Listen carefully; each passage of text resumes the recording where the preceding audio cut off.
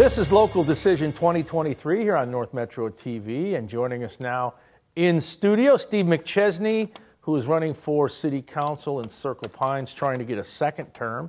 Thanks for joining us, Steve. And uh, uh, you must have liked the first four years because you're running again. Uh, so, what is the motivation now? Yeah, I think it's just to continue to serve the city. I, aside from the council, I've served the city since 2008 when my wife and I bought our home. 10 years on the planning commission. I was an election judge for 10 years. And um, these last four years, almost four years on the council, have been great. And I want to continue to try to do some good things for the city if I can. So, What do you think Circle Pines is, is doing right at this point in time as a city? yeah, I think a lot of things. I mean, it's a great, great community, great school district. Um, you know, phenomenal parks. There's parks and trails. I mean, there aren't many homes in Circle Pines where you look out your door and you don't see a park within sight. Um, it's clean, it's safe. I mean, there's just a lot of really great things going for us. We have some challenges, but um, you know, people tend to really like it and they stay, and it's kind of a hidden gem. You know, we tell people where you live at Circle Pines, unless they live close to it, they oh, is that up north somewhere? so I think we're just really fortunate to have this great little community right here nestled in the Twin Cities. Yeah, it has a name that sounds like it would be in northern Minnesota. Sure, yeah, you get that a lot. It is really a, a gem, but yet it's an outer ring suburb. You can get to Minneapolis or St. Paul relatively quickly. Is, Yeah. is that one of the appeals of Circle Pines? You, you get that pastoral, rural feel, Yeah. but you're in the Twin Cities metro. I think so. I think that it has kind of that small town feel. There's only about 5,000 residents. Again, the parks and trails, I think, just make it feel really, you know, I don't know if rural's the right word, but um, just outdoorsy, if you will. Uh, but yeah, that easy access to the Twin Cities and or to the, the highways to get to work. Um, you know, and any amenity you'd want, obviously, being close to Minneapolis and St. Paul, Blaine, which is uh, growing immensely. But uh, but just a great little community right there in the Twin Cities. What does Circle Pines need to improve on, in your opinion? Yeah, I mean, there's some things that we can get get a little bit better at. Um, we're looking at some park uh, updates, refreshes over the next few years. Uh, we've been playing that planning stage for about a year. Again, great parks and trails, but there's some things that are, you know, maybe a little stale. You know, where maybe when that park was new and fresh, uh, maybe those activities aren't as common now. Um, so we need to do some updates. Some buildings that are getting a little worn down. So uh, I think Parks and Trails is one of them. Um, really not a lot of opportunities. We've got some, you know, older buildings in the city as far as our commercial base goes that we want to maybe try to encourage some updating there and see what the city can do to help. But uh, overall, it's, it's just a great city, and um, you know, there's some room for improvement. But overall, it's it's really really great city, I think. So, so how do you make parks and trails better? And, and let's start with parks.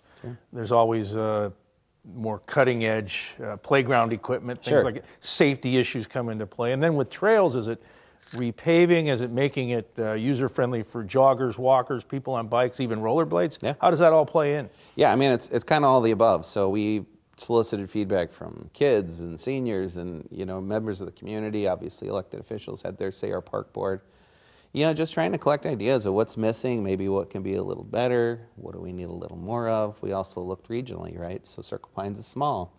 You know, do we need a community center? Well, Shoreview's got one up the road. You got splash pads in Blaine. You got dog park in Shoreview. Maybe we don't need those things, but you know, we're known for baseball, so maybe we upgrade a little bit there. You know, pickleball's big, but um, you know, I think it's about taking the feedback from the community and figuring out maybe where those holes are, or maybe those things that, again, yeah, maybe a trail needs to be repaved because it's been neglected a little bit. But you know, I think it's just kind of about it, it's good. We want to get it to to better or great. When you're out either knocking on doors or bumping into residents at the supermarket, what are some of the issues that come up? You know, usually it's positive feedback. To be honest, you know, I like the city. Um, you know, there's always people that maybe would like snow plowing to be a little bit better in the winter, and you know, maybe some speeding going through the streets that uh, you know, with a lot of kids out playing, things like that. We've got a great police department that responds well to those things, but most of the feedback is pretty positive. When we do get, you know, uh, kind of concerns, it's it's some of those things that you know, uh, again, the street reconstruction can be kind of a pain when you're going through it, and uh, but you know, some of those smaller things that you know are big to those residents, we want to make sure we address them. But you know, no major concerns. I'm not really hearing much from residents on major concerns. You said population roughly uh, 5K. Yeah. Is that where you expect Circle Pines to stay at? Yeah, the city's fully developed. Um, it's not like some of our neighboring communities that have area to develop. Um, you know, there might be a few lots here or there that you know could still change hands and, and maybe get developed, but for the most part, we're we're pretty much built out. You know, so it's about making sure that um, you know we maintain a great level of city service for the people we do have. But I do expect it to say about that five thousand for the very near future. So. August 1 was a seminal moment for some people in Minnesota with cannabis becoming legal. And Yeah. I know all the cities within the state borders have been on their own island trying to figure this out and navigate their way through legalized marijuana. Yeah. Uh, are you in favor of public ban marijuana, all smoking in general? Yeah. So we actually just passed a ban on the use of cannabinoid marijuana products in public. Um, so respect people's ability to be able to do that in the privacy of their own homes, on their properties. But we did think that, again, with kids using parks and things, that uh, those intoxicants, there really wasn't a place for that in public spaces. Um, you know, as far as an outright smoking ban, it is something we've been talking about and debating as a council. We're not there. Um, but, uh, but as far as those cannabis, cannabis products, we want to try and limit those to private property. Do you ever see the city trying to monetize it similar to liquor stores? I don't think that's in the works for Circle Pines at this time. Um, so, uh, no, I don't think so. Um, we did pass some uh, licensing regulations so that once those retail stores do go into place, uh, we'll be able to manage that a little bit better. But I don't see any kind of municipal uh, cannabis location in our future, no. Is it, is it a wish of the council and maybe other cities around Minnesota to get more guidance from the state of Minnesota on this? Um, you know, I think we would have liked a little bit more clarity on the use of of the product in public. We obviously addressed that. Um, I think there's more to come. Yeah, I think there's probably a little more clarity that we can get over the course of the next year before, because I think 2025, January 2025 is when uh, retail product is going to be legal to sell. Um, so hopefully over the next whatever it is, 15 months, we'll we'll get a little bit more information. But so far, we've had good communication from our state senator and state representative on this, and uh, expect that to continue. Public safety, uh, everybody wants to feel safe and, you know, know that police or fire will respond as soon as possible. Yeah. Uh, do you feel like Circle Pines checks both of those boxes? Yeah, absolutely. We got uh, great partnerships with Centerville with fire, and now we've got a, a partnership with the SBM Fire Department, who's doing our administrative and management for us. Uh, we've seen response times go down. We've seen our costs stabilize. Um, it's, a, it's a great partnership, and um, we couldn't ask for more when it comes to our fire department, police department. Same thing. Uh, crime rates went down last year. We're going to hire a couple of new officers this next year. Um, my kids, I have two elementary school kids, and we live close enough to Centennial Elementary. They walk to school, and I don't think twice about it. It's a very safe community, and that's thanks to Chief Mork and the police department, who are very visible in the community and do a great job. So, yeah, I think the vast majority of Circle Pines residents would say they feel safe. That's what we hear on our surveys, and um, and that's how I feel as just kind of that typical, uh, you know, guy with a, a family, three kids that, that are out, and I want to make sure they're in a safe community. So absolutely. Uh, how would you grade Circle Pines on infrastructure? I know they uh, recently completed the street repaving of, of every you know block in the city, but it, it's always an ongoing thing in Yeah. Minnesota, isn't it? Yeah, so now it's, I think it's more of a maintenance thing. As far you know, as far as a rating, I don't know. I'd, say- I'd rate it's pretty high because not only we do the streets, we did the utilities, the water lines, sewer lines, uh, gas lines, all that uh, was redone. I think pretty much every street in the city was completed over the past, I think it's 15, 20 years when that started.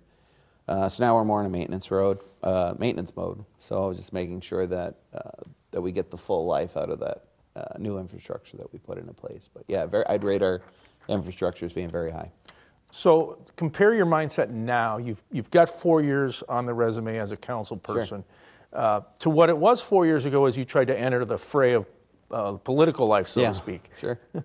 So, Yeah. so where are you? Have you changed your thought process much, or are you exactly where you were? I, th- I, I'm certainly more knowledgeable. You know, I mean, I had some understanding of the city government, having worked on the planning commission.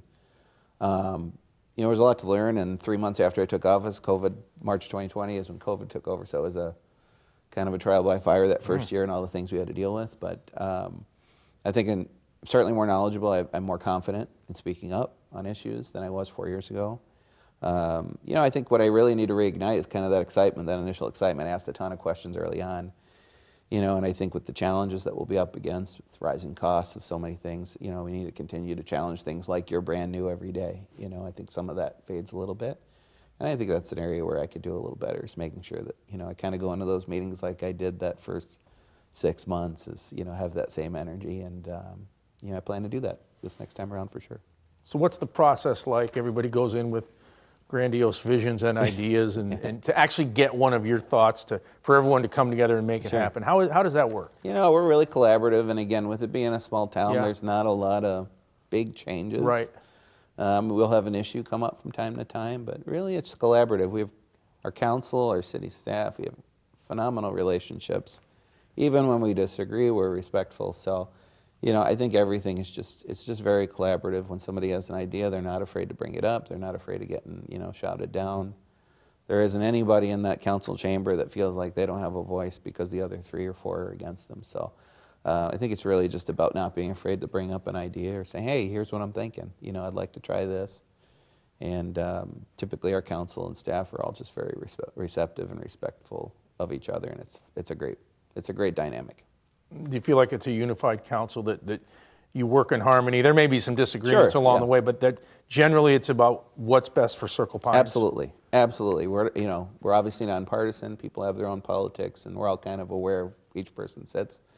But we approach, and I think I can speak for them all in this. We approach every issue uh, based on what's best for Circle Pines, and not you know maybe where your where your politics lie. It's you know is this the right thing? And um, I feel like we have a group of people that does just that. So. Uh, cutting taxes has been a trademark the last few years. Where, where are we looking at, at what might happen in the future, taxes, budget, et cetera? Yeah, again, the rising cost of everything, it, it's going to require us to look really closely at everything, the cost of everything.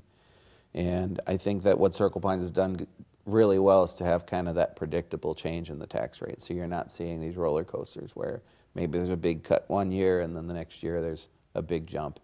You know, we kind of want it to be steady. We know our budgets are going to go up. You know, property values hopefully will continue to go up, but um, we want to make sure that we don't do anything to overburden the taxpayers and you know, the way to do that is to continue to work together and, and kind of look at things maybe a little different than we have in the past, some of these challenges we're facing. So, um, again, it really comes down to communication, working together with the staff and the city council and, and listening to residents. But I, I think keeping things as predictable as we can, measured, and not kind of having that roller coaster that I think some cities go through with their budgeting and their taxes. What do you think the primary role of somebody on the council is? I think it's to make the decisions that are best for the, the residents. I think it's to listen to people, you know, to have a good pulse of the community and to, you know, not let your personal feelings necessarily get in the way of, you know, what the right decision is. I think we have to make sure we're making the right decision for the, the city as a whole. And, you know, you do that by listening and communicating well with, with residents and your partners on the council. Have you gone in with an idea or a proposal that you thought was a slam dunk, and then you heard other perspectives and said, "Oh, well, maybe I do now see it differently." There have been a lot of little instances where, you know, I maybe read the council pack and I thought, man, I don't know that I'm going to be aligned with this. Um, nothing major. Again, small city, we don't have a lot Right, of right. big things, you know. An example is we bought, I want to say we bought a couple of uh, hybrid police vehicles. I think it was last year, year before. And they were significantly more expensive than an average police car. You know, and I was thinking, why are we spending this money? Why don't we just, you know, stick with what we've been doing? And then before I had a chance to speak up, it was explained, well, price of gas over the course of X number of years, we're going to actually save money. These cars are idling all the mm-hmm. time. And suddenly, you know, my decision, you know, my, my feeling on the position had changed. And there are a lot of little things like that where when we listen to each other, you know, maybe you go in and you adjust a little bit, or maybe we shouldn't be spending this much on the budget And this line. But then after it's explained, you kind of understand a little more. So I think being a good listener and good communicator, it, it goes a long way. And um, yeah, there have been a few cases like that. Good to be flexible, right? Absolutely. Yeah. Uh, tell the viewers, you know, why should they vote for you and put you back on the council again? Yeah, so um, you know the experience I mentioned of my service to the community over 15 plus years. Um, I think I represent the typical Circle Pines resident. You know, middle income. My wife and I have been married 18 years. We have three little kids in the school district. Um, I want safe streets and clean parks. I think that I'm a good representative of what the average Circle Pines resident is looking for in their community, and um, I feel like I have been and will continue to be a good voice for them. All right, well, thanks for sharing your vision and, and for stopping by. Thank you for having me. All right, very good. Appreciate it. Uh, he's Steve McChesney running for Circle Pine City Council. This is Local Decision 2023 here on North Metro TV.